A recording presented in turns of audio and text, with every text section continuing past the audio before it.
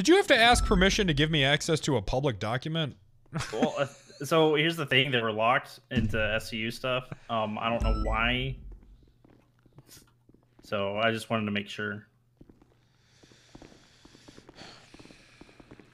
Hey, Rumi. Oh, hey, buddy. Okay, well, I could see why you'd have to ask uh, permission. This is some pretty serious stuff here. Yeah. Yeah, right. I'm We with you. Don't want this to People get don't need shit leaked. So Right, right. Yeah, we don't want that. Stop putting your hand on the door. I put the key. My God. through. What's up, Fingal?